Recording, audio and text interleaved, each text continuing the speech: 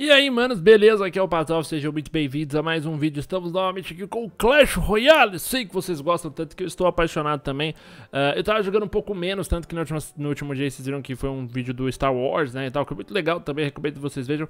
Mas hoje voltamos com o Clash. Eu estou beirando, beirando a areninha da selva, né? Bombeirando não, tô meio longe ainda, falta 140 ali. Mas o mais importante, na verdade, que eu vim trazer esse vídeo é que eu bati o meu recorde de troféus da jovem com muita ajuda, muita dica de vocês. Eu consegui bater, né, meu recorde ali, ó, meus troféus mais altos, 2466, antes tinha sido 2320, 2170, alguma coisa assim. E agora eu cheguei no 2466. Eu cheguei essa noite, essa noite eu parei e falei, vou jogar esta bagaça até cansar. E eu joguei até cansar, eu não faço ideia de quantas partidas eu joguei. Ganhei algumas partidas de nível 10, mesmo estando no nível 9. Desculpa pelo cabelo, eu, eu preciso parar de olhar pra cima. Eu mudei a câmera pra ficar mais fácil de jogar e falar com vocês sem olhar pro lugar errado, né? E o microfone ficar certo. Enfim. Uh, joguei pra cacete, ganhei de alguns níveis 10, então eu tenho até como mostrar aqui para vocês, deixa eu, bom, eu não vou achar nunca, né, dá pra ver o nível do cara? Não dá pra ver o nível do cara, mas enfim, ganhei de uns caras nível 10, e foi, foram muito boas as partidas, eu tô com bastante vitória, como que eu fiz isso? Eu reduzi o número de... Eu, eu, reduzi o custo de Elixir daquele meu deck. Então é aquele mesmo deck do cemitério lá. Uh, eu tentei usar alguns outros decks que o pessoal me recomendou, mas, mano, mas nenhum eu me, eu me encaixei muito bem, pra ser honesto. Então, uh, eu tenho um de Lava Round e tal, teve esse aqui de Corredor. Dizem que esse deck é muito chato. Uh, mas aí eu fiz esse deck com 3 de como vocês podem perceber, a única grande mudança mesmo que temos é a saída do cemitério, né, e a substituição pelo barril de goblins. O que me inspirou a fazer isso na realidade foi o fato de que o barril de goblins é, eu peguei nível 4 com ele, né? Eu abri um daqueles baús normais, veio o Goblin, e aí eu. Eu. Foi isso? Foi isso eu comprei? Não, mentira, eu comprei as cartas, né? Tava vendendo o Goblin, eu comprei para ganhar nível. E foi muito bom, porque o Goblin, ele pegou nível 4, ele tá muito forte. O mais legal é que ele resiste a muitos zaps, né? Então, zap que não tiver um nível muito alto, o barril de Goblins, ele consegue resistir. E eu ganhei algumas partidas bem facinhas, tá bom? Eu acho que não, não tem muito o que falar, para provar para vocês, eu tenho que mostrar os resultados para vocês verem como os decks funcionam. Eu vou tentar fazer uma coisa que eu não faço há muito tempo porque eu acho muito difícil, mas eu vou tentar gravar uma partida e comentar ela ao mesmo tempo. Por quê? Uma coisa que mudou também no meu estilo de jogo foi o meu raciocínio durante a partida, né? Antes eu pensava muito no que eu ia fazer e não necessariamente em responder ao que o adversário ia fazer, né? Então eu ficava muito tipo nisso de, ah, eu vou, olha, mano, 25 minutos, 30 minutos, nossa, tô jogando há muito tempo isso aqui. Enfim, então eu ficava muito focado nessa de, de, tipo, de focar muito no que eu ia fazer e não tanto no cara. Então hoje eu tento ser muito mais responsivo do que ofensivo, sabe? Vamos ver se eu consigo. Espero que o som não esteja muito alto. Vamos embora, eu vou tentar passar mais ou menos o meu raciocínio, certo? Eu saí com uma disparada boa que eu gosto muito, que é soltar o bebê dragão e soltar o meu barril de goblins. Vamos ver o que ele tem. Eu quero que ele revele as cartas dele logo. Beleza, ela focou no meu dragãozinho. Eu vou dar bastante prejuízo. Beleza. Ok, a gente tem alguns problemas meio sérios ali, que são aquelas duas chatonildas ali. Então eu vou fazer o seguinte, soltar essa criança aqui. Soltar ele aqui. Nossa, o maluco veio com tudo, com tudo. Mas eu consegui segurar até que bem. Ah, eu não vi que a Valkyria tava viva ainda. Tô no prejuízo master aqui, ok. Ah, outra coisa que eu fiz pra reduzir o custo foi trocar também o gigante pelo gigante de gelo, né?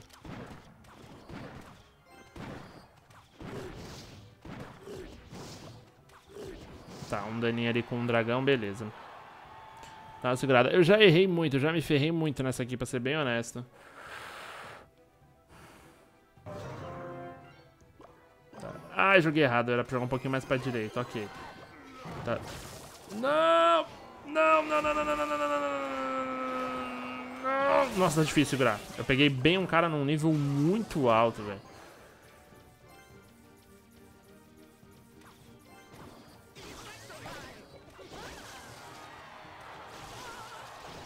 Tá, ela não vai chegar muito longe, não. E eu tô com 7 de elixir aqui. Eu vou dar uma seguradita. Não mais. Ferrou. Vai levar, vai levar, vai levar, vai levar, vai levar. O que fazer não.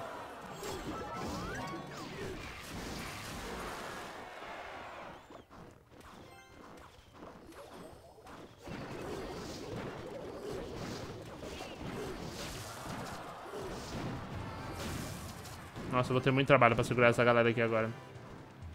Mas beleza, Double Elixir é um momento bom na partida pra gente, porque como o deck é rápido...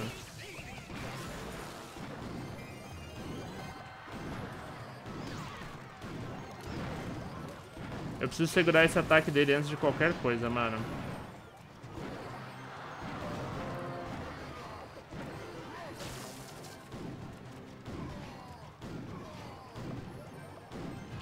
Tentar dar dano ali.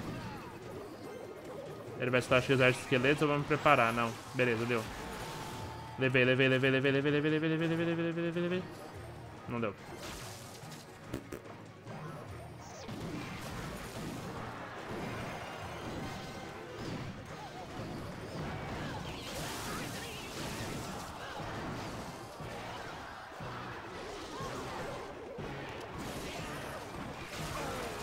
Beleza, seguramos ainda.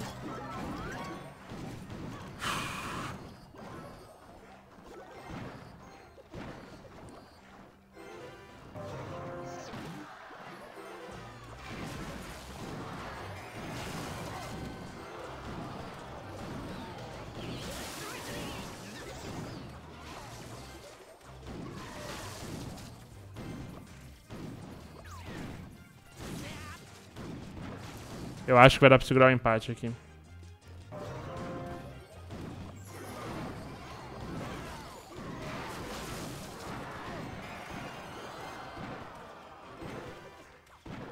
Tentar ser ofensivo agora.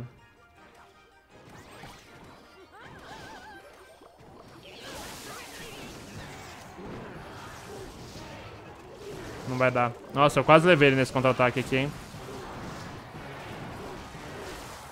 Olha, eu ia levar, velho. Tudo bem, acontece. A gente conseguiu segurar um cara nível 9. Bom, a gente deu bastante dano. A gente jogou melhor a gente ia finalizar a partida. Talvez se eu tivesse antecipado um pouco mais esse ataque, eu tivesse feito alguma defesa mais bem feita. Uh, mas como vocês viram, o meu raciocínio durante a partida mudou muito. Antes eu pensava muito no que eu ia fazer e não tanto como eu ia responder, o que o cara tinha, como fazer ele gastar as cartas dele. Vamos lá, eu acho que rola mais uma chance aí. Eu vou tentar fazer a rotação do meu deck com a lápide. Ela é muito boa pra fazer a rotação do deck, porque ele acaba perdendo um corredor caso seja deck disso. A gente tem que descobrir ainda o que, que esse amiguinho vai fazer. Beleza, a gente já sabe o que ele vai fazer então. Vamos tentar dar um full ataque aqui. Porque ele gastou o elixir dele lá em cima. Ele vai jogar alguma coisa pra dar dano individual ali. A gente vai tentar derrubar o máximo de coisa que a gente conseguir o mais rápido possível.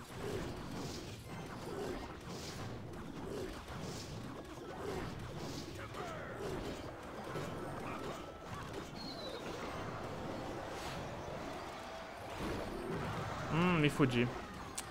Bruxa chata do cacete.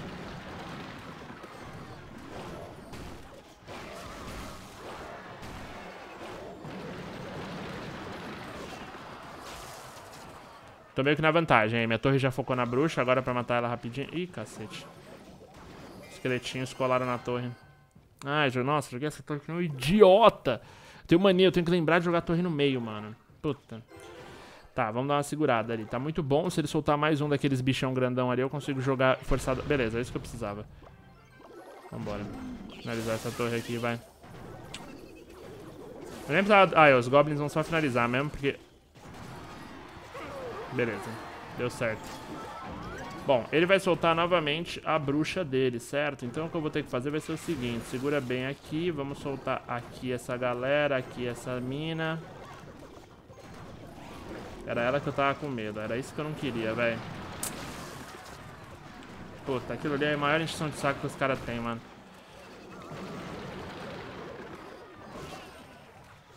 Me pegou.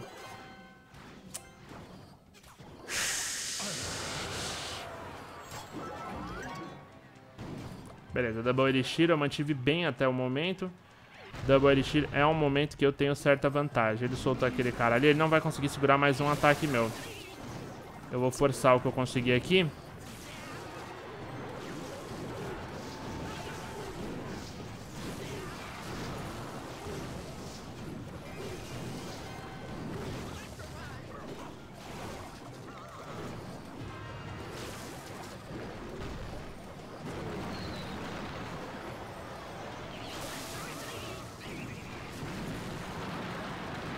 Nossa.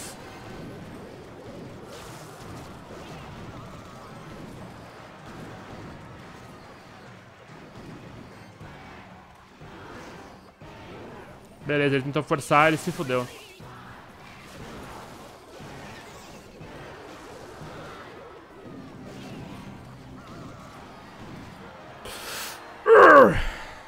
reativo de novo, mano. Eu fui esperando ele vir e eu fui pra cima. É muito difícil gravar falando, me desculpe. Mas acho que deu pra mostrar mais ou menos pra vocês o conceito. Estamos aí beirando os 2.500 troféus, ou seja, mais um recorde. Virei a madrugada jogando Clash pra fazer um vídeo, sério. Esse jogo é muito bom, mano, cacete. Como vicia, né? Espero que vocês tenham gostado desse vídeo. Se vocês gostaram, não esqueçam de avaliar, deixando seu joinha, seu favorito, se inscrever no canal pra muito mais conteúdo. Baú agora eu só abo cagando, velho. Aliás, teve mais um baú cagando, viu? Vai virar um meme aqui no canal. Foda-se, eu não devia ter feito isso, devia ter deixado aberto, mas eu tô distraído. Só pra contar a história pra vocês. Eu tirei o lenhador. Ah, posso subir você, velho. Subir. Só pra ganhar nível mesmo. Eu ganhei ele, adivinha, cagando. Fui cagar, abri o baú do clã. E, bom, não vou te usar não, amigo. Fui abrir o baú do clã, que inclusive zerou. E, mano, e aí ganhei um baú. Como é que funciona esse baú do clã, aliás? Eu abri, todo mundo falou, mano, mas não dá mais pra abrir ninguém, eu não entendi. Mas enfim, aí abri o baú do clã, ganhei o oleador, foi muito divertido. Pessoal, 2.496 troféus, beirando 2.500, beirando a Arena da Selva com este deck, esse deck aqui. Que uma coisa muito legal, ele não tem carta lendária, né? Então muitas pessoas sempre pedem deck sem carta lendária. E esse deck funcionou muito... Ah, não, tem sim, tem um mago. Oh, que idiota. Como... Ó, você pode, você pode substituir o mago elétrico facilmente por um por uma mosqueteira, tá? Fica a dica. Então coloca a mosqueteira que você consegue substituir o mago elétrico e aí você fica sem lendária e você consegue montar um deck bem bacaninha com um custo bem baixo e eu acho que dá pra levar longe. Beleza, Abaros? Esse deck aqui eu, eu, eu acabei criando ali na sorte, como eu falei, mas mesmo assim eu quero agradecer a, a dica de todos vocês. Estão sempre comentando, estão sempre apoiando. Eu tô muito feliz de trazer o conteúdo de Clash aqui pro canal, porque é um jogo realmente muito bom e que eu sei que muita gente joga, tá bom? Muito obrigado, manos. Um beijinho para todos vocês, até a próxima e valeu!